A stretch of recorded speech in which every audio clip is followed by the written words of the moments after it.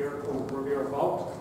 Um, I'm also going to take some time to explore what, what I see as a pretty uh, incredible thing happening around uh, data and how people are starting to use it to uh, improve lives, uh, increase business efficiency, uh, and, and, and drive down cost of organisation. A couple of special mentions, I guess, at the start. We've got HDS in the room. Uh, HDS has been our technology partner as we've developed this technology. Without them, it wouldn't, have been possible. Um, they've brought an enormous amount of um, skill around, around object storage, which we're going to talk about um, the underlying platform and how we support that going forward. So uh, we've got a couple of gentlemen, uh, Mark and Mark, is it? So um, around today. But also um, David Wills, who's the technology lead at Qrious. Uh, Qrious is the uh, data analytics um, arm of Spark, I. Spark Ventures is, is where they live. Um, they've shown me some pretty incredible stuff over the last couple of months about what they're doing with data um, and, and how amazing it is once you start to visualize quite complex data sets and some of the patterns and trends you can start to spot once you once you put them in a format where you know a human can look at one page and, and really take in all that data. So today I want to take us uh, a bit of a look at, at data and what's been happening with data globally. Um, I think it's fair to say that, that New Zealand has fallen quite behind in our use of data, especially around um, marketing automation um, and, and, analytics in those spaces. Um, we've, we've been lucky enough to attend a few overseas conferences and the use cases are, are becoming quite impressive about how an everyday supermarket can use data. I'll talk about that.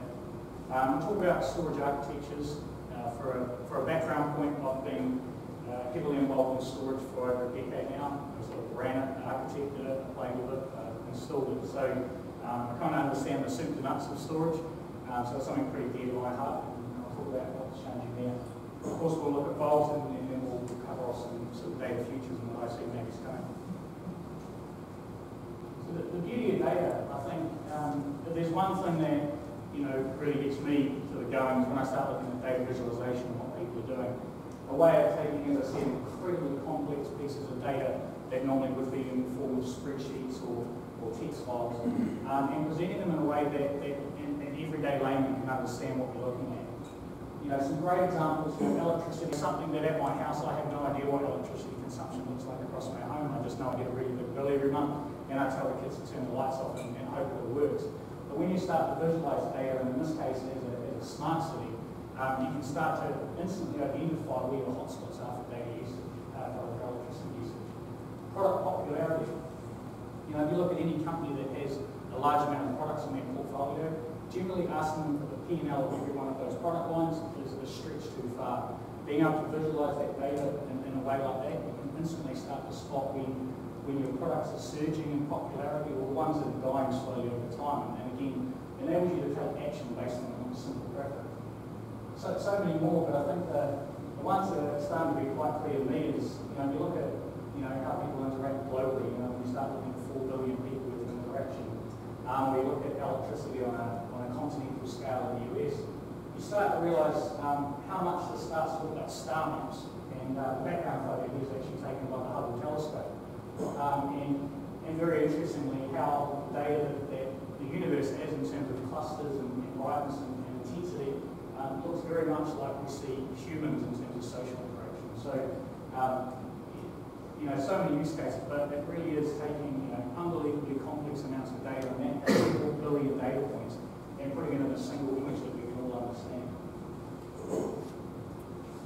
So where, where are we seeing data being used today and how is it being used? Um, you know, there's some, there's some really good videos on, on the web if you uh, check out what Microsoft's doing with a, basically a plane without wings. Um, they're, they're breaking the land speed record. It's a pretty cool uh, and pretty sexy way of displaying data analytics. Um, but, but interestingly, what it enables them to do is break land speed records faster because they're able to analyse now that data from that last run within a minute. And then for the very next run an hour later, they're able to actually tune the, the car and speed over. The fan engagement centre that NASCAR built with HP, um, that is a phenomenal piece of technology that essentially allows the, the NASCAR Media Centre to monitor live tweets and live stream social data about the race. And a great example there was um, during a live broadcast of the NASCAR event, a user tweets, I wonder how long, uh, how fast the pace car travels. You know, that tweet comes in. They actually capture that now and have a feed directly to Fox Sports. They send that thing, all of a sudden uh, on the live feed, the answer pops up on the screen. By the way, the NASCAR pace car travels at 150 miles an hour, whatever it is. Um, that level of engagement, you can kind of see how, how, how cool that's becoming. Um, your retail optimization is another one um, that, that, I, that a great case study around the supermarket. So what they did is they took their existing CCTV footprint and they literally watched it with some software. So they stored that, data and they started to watch it and they built up heat maps of traffic flows around their supermarket. Now this is existing hardware, just, just new software. And from that, from that initial sort of pilot, they decided we're going to widen the store layouts because we can see there's, there's traffic congestion. They said, okay, well that's a, that's a nice starting point. And the next thing they, they, they said, well, we know now where people are, people are in our stores during the day. Why don't we take all of our products that are going end of life, you know, your, your cheeses and milks and things, and we'll just make it a little bit, you know, a little bit heavier traffic sort of area. And then, and then of course, the, the very next thing came out, well, how do we commercialise this? And so what they did is they actually went to all their suppliers and they started charging different rates on where they placed products within the store. And they now have a piece of data where they can show those those um, those vendors that if you put it here, you'll get 20% more foot traffic than where you are today. Um, and so you can see they kind of they kind of explored data and they started with a, a store optimization. By the end, they monetized it, and they did all that within about 12 months. Um, and, and then the interesting point there was that the one thing that hurt the supermarket was they hadn't been collecting that data up to that point. And so in terms of building trends, it actually took the, the six months before they started the project was just collecting the CCTV data that they were throwing away. The most noble cause I've seen that used for is what the UK Cancer um, Research Agency has done. They've taken the, the genomics of, of, I think it's breast data, and, I don't excuse to understand the, the details underneath, but they've gamified it. They've built this little app that goes on Android or iOS. And when people are on the subway and the London Tube and all those sort of things, they're actually playing this game. But in playing that game, they're actually spotting patterns and trends within this research data, this genomic data. So what's happened now is the, the cancer agency that probably had you know three PhDs that were calling through data manually now have an army, potentially four billion mobile device users playing this game and doing the research on their behalf. Um, I think that sort of shows how, how the converging technologies are starting to enable different things with data. So before, you know, three guys, now four billion people can get access to that data so your disposal. And, and probably the, the most common one we know about today is marketing automation. So uh, for those of you who may have heard the story, a, I believe it was uh, Walmart um, nearly got sued. So uh, a, a guy ran up his store and said, why are you sending my daughter, 16-year-old, pregnancy information? And, okay, well, know what that's about. We'll look into it, see, you know, no problems. Are you sure your daughter's not pregnant? No, no, she's definitely not pregnant. She's 16. There's no pregnancy there, trust me, okay? So they went away, and the reason that she was being sent the information was because A, she was actually pregnant, and she had told everyone. And the reason they knew was because they looked at her buying patterns going from scented soaps to unscented soaps, from traditional soft drinks and all those things to now organic juices and the likes. And so what they were able to spot with data analytics was actually a trend change in her um, buying behaviour that made them pretty much high probability that that, that girl was pregnant. So um, maybe that's the dark side of data or the good side, I'm not really sure. But um, you can see there's enormous power once you start looking at data in these ways. I think the other thing that, that we look at is, is, is how are data sources changing? You know, what are we seeing in terms of growth of data? We have systems of record, which we've always had. The first thing um, that computers were invented for was to try and start doing letters in business on, on a computer. That was what the point was. Um, I will call out that in uh, Mr. Knight's cases in the room, systems of record is probably bigger than bubble the right. Um, but, but in general, the systems of record are kind of, you know, traditional business communications. You know, we've seen an explosion of, of systems of engagement in terms of um, social people monitoring tweets. We saw that example in NASCAR. They're not only monitoring that, they're actually storing all that data, all those photos that people are taking and tagging their business. Um, and of course, things like point of sale, which used to be a point of sale store in retail, is now actually probably an application of all those points of sale through as well. And then, you know, the 100 foot elephant in the room is, is really machine data. Um, and, and video and audio are probably the two, the two things that we've started to turn into data. They used to not be considered data. Uh, if you look at that CCTV um, example, video is now a data set that you can actually use um, because the software can now recognize images. But the fidelity of video is the thing that's really the concern because a standard definition uh, video was probably megabytes an hour. Um, now you're talking gigabytes an hour. And so if you start collecting the CCTV example, about 170 gigabytes an hour just from 10 cameras.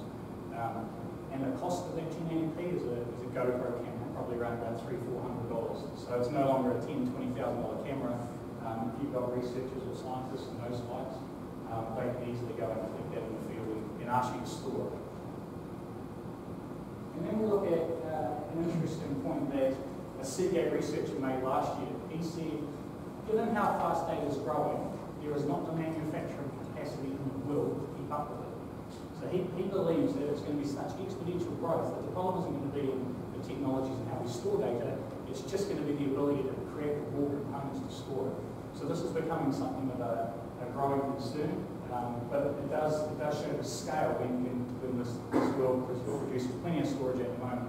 Um, but within, within the space of five years, they believe that balance is going to be some, some serious problems, you know, um, data is a new oil, maybe it's storage because it's become such a rare resource that if you get your hands on a hard drive, you'll, um, you'll go and sell it for a bit of money.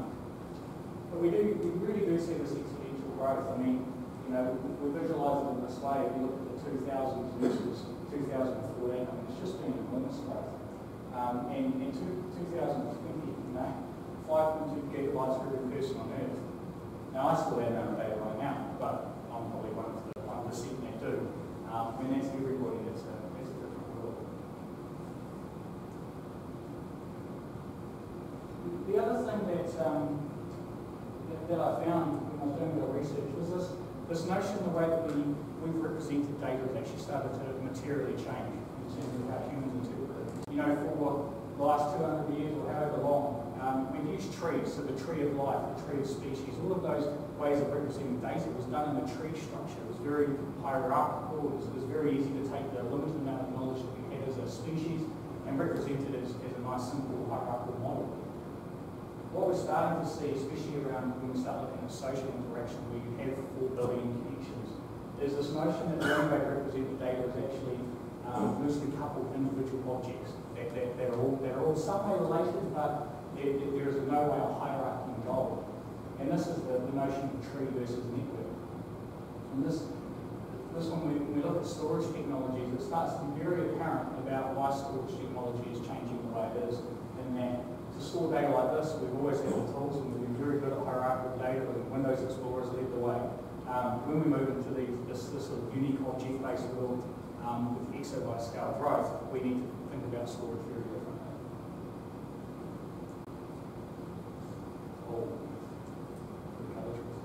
Oh. So this is, I, yeah, let's, let's talk about um, data storage and, and get down to some of the soup, to nuts version of that. And if you look at um, where, we, where we've come from and where we're going, you know, it's pretty, pretty obvious how these new technologies match up to the, um, the requirements of what's. You know, in my world, I grew up building um, virtualization clusters and before that servers where two terabytes sound like an enormous amount of data for a server and there was really no problems. You know, we could get away with it, and, and that really worked for us quite well. About five, six years ago, we started getting people who were doing some really horrible things with the LUNs. They were starting to use the operating system to stitch multiple LUNs together to try and get to a size they really like. Um, you know, a whole lot of crimes like that that really resulted in some pretty poor data architectures. Um, and, and then some companies started coming out with a bit more of a file-based model. And I should really point out that in the 70s, file was actually the, probably the starting point for this, but the reality was is that file-based storage um, in terms of uh, direct on the arrays has become very popular purely because of the uh, size and accessibility of, of the data. And then we look at we look at object storage and, and where that's coming, and it really is just the, the next level.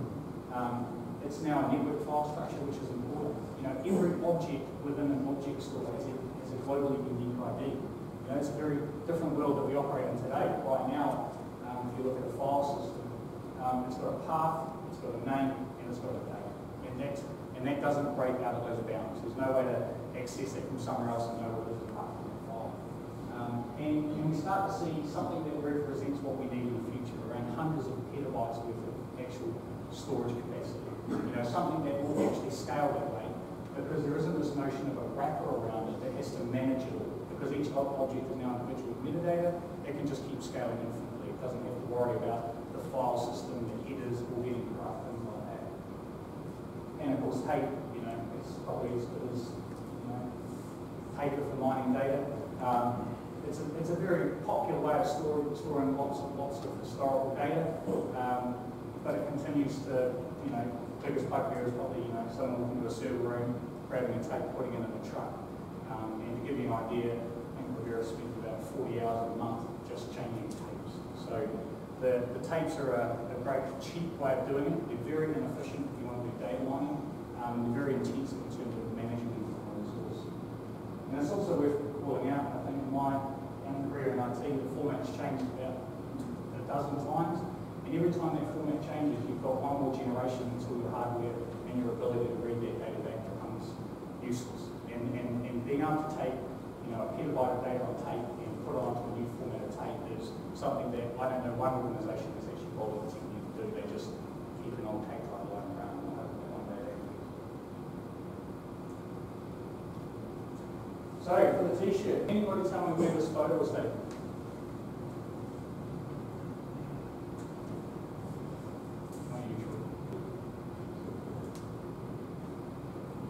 So I'll to Steve because his business. So, um, about three weeks ago, about three weeks ago, um, as you do on, a Saturday, you've got young kids, you need to get out of the house. And lucky for us, I've come on Facebook and said, hey, look, the government's having an open day Wellington, all the buildings are open, go and enjoy it. And so we thought, hey, it's a nice day, we'll take we'll go for a walk. So we wandered through most of the buildings. But we, we came across building down that way, and um, it's the old law library.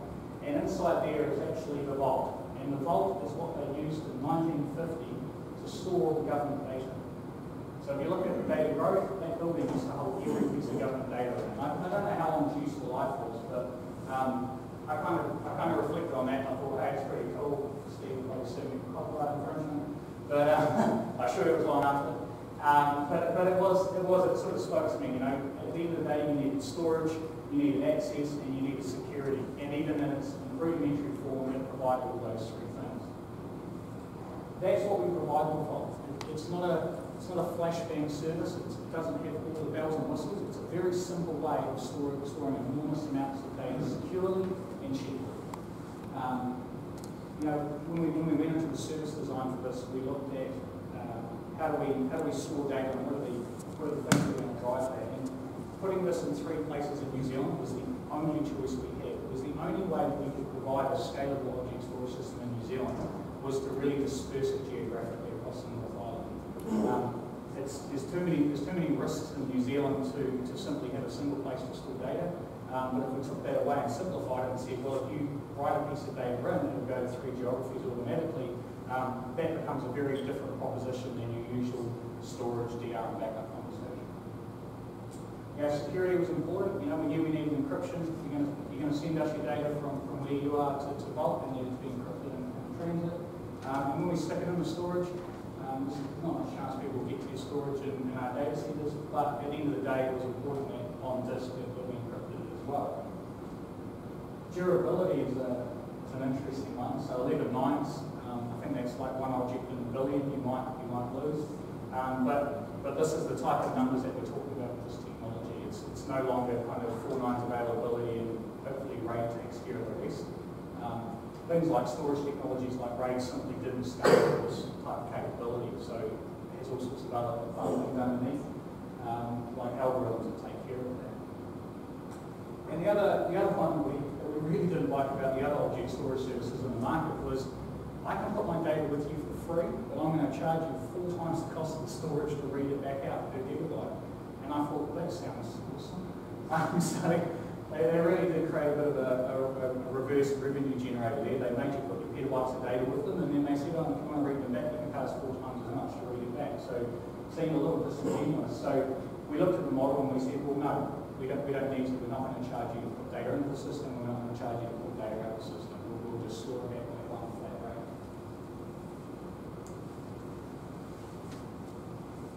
So we had a wider look, I guess, at the overall solution. Um, as I said, you've got, you've got the three geographies. Um, excuse my geography, that is Albany, Takanini, and Trentham Wellington. I think I'm just out of um, But you get the idea that um, when you when you access Vault of Revera, you automatically sort of have this, this front-end balancer that, that makes sure the data goes to all the right places and you can always access. What's really good about the Vault solution is it is compatible with the S3 API, and, and that enables us to be able to use Vault with, with already hundreds of supported software vendors. So this isn't, this isn't a new API that you have to rewrite for. Um, people like Commvault, who we've been working with a lot on this solution, um, there's two clicks within their product and you're backing up to Vault. Two clicks, that's it. It takes about 15 seconds. Um, and then you look at the other commercial products like, like the cool sounding Cyberduck and Cloudberry, and there's some other functions that come in around what looks like the traditional FTP server instead of transferring files drive mounting, which is when it shows up in Windows as like a, as like a network drive. And, and those use cases, as we explore, will start to become quite powerful because we can actually use them with, with other existing software that doesn't even support these a bit of a disclaimer, obviously those products are not um, products and we can't endorse them. What we can say is we use them and they work with, with Vault. Um, but, but all the terms and conditions and all the usual risks about using another provider's products but, but there are literally hundreds of supported products out there. So, um, for the simulations that we're watching. Uh, but, but it is literally as simple as one write to three geographies. You don't even have to think about it. You don't see it happening. Um, it simply just goes there. And, and I guess one of the one of the big benefits for Revera is we wouldn't be able to offer this service at this price point if our cloud platform wasn't at the centre of the largest telecommunications network in New Zealand. So we hardwired our cloud platforms into Spark, and in terms of internet service facing and WAN connectivity, um, they have things like what we've seen here at MAC is the new optical transport network, um, which, is a, a brand new next generation um, ultra low latency WAN backbone um, that, that is available to be used with products like Dolphin. So um, this is not only three geographies, but it's connected with this amazing web of, of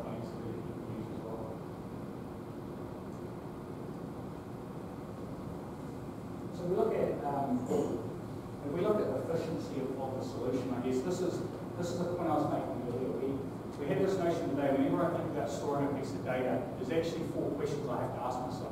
How do I want to access it? And you know, block and file and all those things, the, the old way of doing it. Where am I going to store that data? How am I going to back it up? And well, now my now my CEO wants us to get a DR plan for my data set. Um, and and this is actually more expensive to protect the DR data than it is to store it in the first place. And that, and that was kind of the old paradigm of how you um, store and protect data in IT infrastructure. So what, we, what we've done with Vault um, in the way it serves to an architect is, is to take that 4.5 times data storage and turn it back into one. So being able to take all those requirements and bubble it all back down and turn it back into one, store, one, one cost, one storage, one block. So not charging to put it in and out, and now I'm not charging you to replicate it, I'm not charging you to back it up. It all sits within Vault um, and all protection. This, when we, when we look at Vault, which is, um, I guess it's time to say it's six cents a gig for, for Vault, which we use it. Um, a traditional protected piece of data, the cheapest I could put it together was about a dollar. By the time I replicated it, protected it, and stored it, it was about a dollar that I could do it for. So six cents a gig is, is just a massive um, different people have opinions on what that cost is, but I guarantee you can't do three of those things for six cents right now. So um, it really does not only come in at a really attractive price point, but it has some efficiencies built into how the service operates.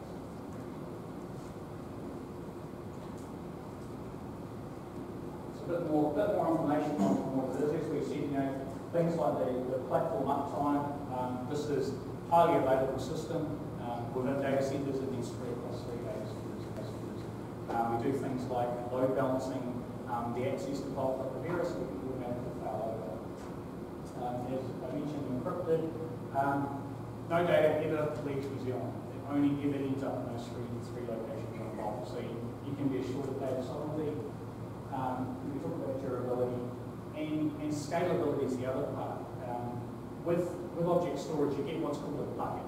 And that bucket, we don't give you a size. So when you when you when you start using Vault, you have access to Vault, but at that point, there is no cost involved, and there's no preset size for Vault. Um, you put one gigabyte of data in there, and you pay for one gigabyte of data. You put a petabyte of data in there, you pay for a petabyte of data, and so on and so forth. Um, you don't need to engage with us to expand that bucket. It will just automatically grow as you start using data. And, and from our point of view, expanding the footprint is what we're doing. But it, does change, I guess, many of you on this room probably at that point, well, we're about to go over uh, uh, the size of this file system, and now to need to create another one, and we're going to files for those. So all of those get start going away.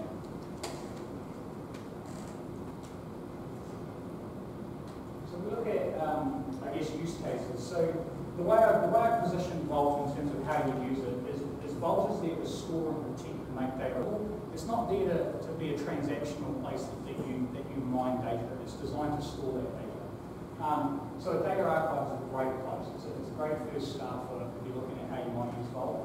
Um, simply take maybe your existing tools and figure out how we use them with Vault, or simply start copying old data that maybe you think you need one day, um, but, but don't really know how to use today. Um, we mentioned, you know, Commvault um, is actually updating um, their global reference to how you use Vault. Um, and Vault in the uh, next release of Commvault will actually be one of four global providers for cloud storage packets where you just be able to drop down the box and go.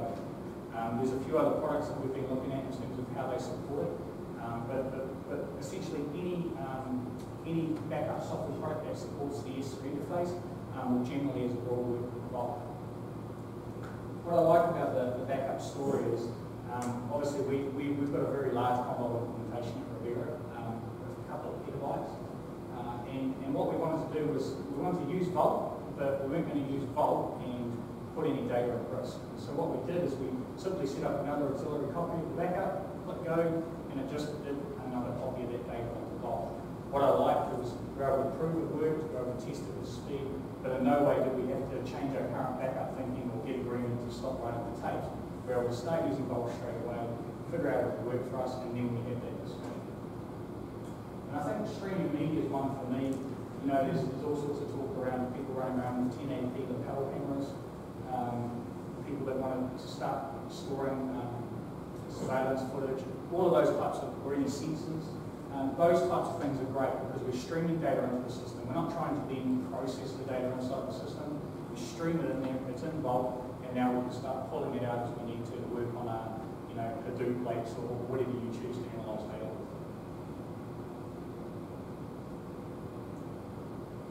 So the thing about a simple storage service is it lends itself to the most boring demo in the world. Um, but what we have here is um, one of the tools that we were talking about. So um, I did have my latent set up with my SAD system. So the, in this use case, I guess, what Vault starts to look like is, a traditional FTP server. We've got a, a simple two-column thing. Um, on the, on the left, we've got the Revera Vault storage, and on the right, we've got our, um, local uh, cache folder at Revera. And we've decided that we would like to vault some of our cache material. So as simply as dropping that over, um, that file now sits in three geographies in New Zealand. It's as simple as that. You know, we just we drop it in there, and all of a sudden my protection, my DR, and storage requirements Uh, I'm able to pull that down from here. I can re-access that bucket. As long as I have my secret ID and, secret I can get that in.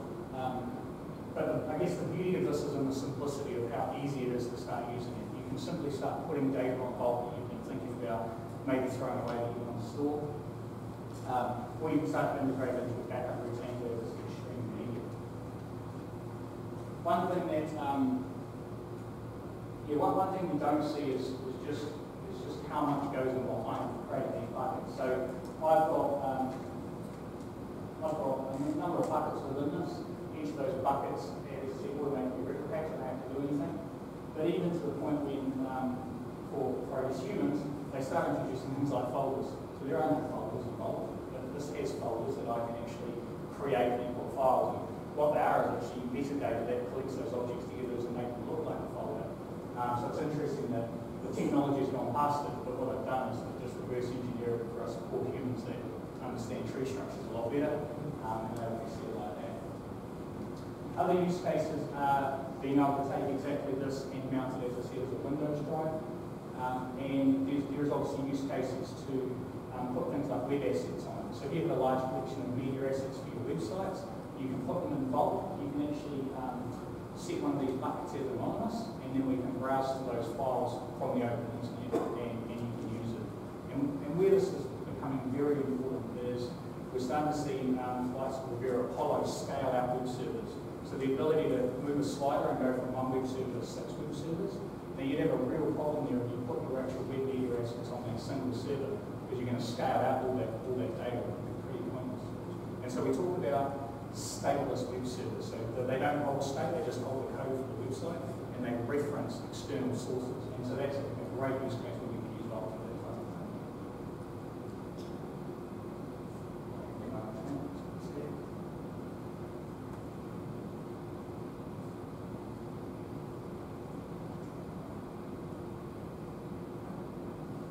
probably worth um, sort of mentioning. So in terms of, I guess, you know, what you're seeing here is I'm, I'm using my 4G connection, I think it's tuned out 3G, um, to upload this. So what we do is um, we, we front the, the network included element with Vault. And so Vault is presented for, we've done a rough calculation today, we see for every petabyte of data in Vault, we're fronted with 500 megabits of, of internet bandwidth. And then obviously for a client, um, as fast as your internet connection is, is as fast as you can get Vault yourself. Um, other options that we will definitely um, entertain is we have the ability to create local connections to Vault, essentially bypassing the internet using um, Spark NAS services or if you're interested in a client, we can use it that way. Um, that's a bit more that's a bit more like hardwiring into Vault, and so we would, we would only do that if, if the use case justified or the scale is there.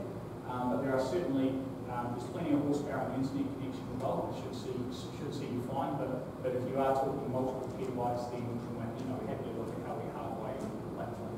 Um, so those are the use cases. And in the case of um, Revera using this for its backup service, that's exactly what we did. You know, we've got something like three or four petabytes of data sitting in backups at the moment that we'd like to start using Vault for. Um, and that's the great use case where having a, a dedicated connection to the service is very important.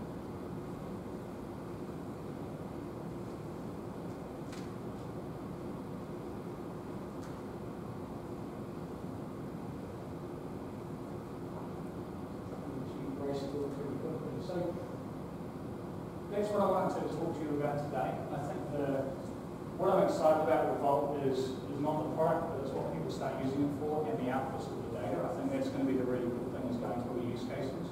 Um, we do have a, a sort of a, you know, start using it today. Um, I would I would hand out, you know, free five gigs, but 30 cents a month is probably probably not really, you know, worth the trouble. Um, but that's the um, that, that's the with It is, it is so unbelievably cheap, it's so easy to access. Um, you can simply sign up today and start testing it with your current data architecture and see how it works for you. And as I said, use 5 gigs, you know, your, your greatest risk is you, you get a 30 cent bill, and, you know, I'm sure our accounts department will see that. so that's what I had show you today, I guess, the way of question.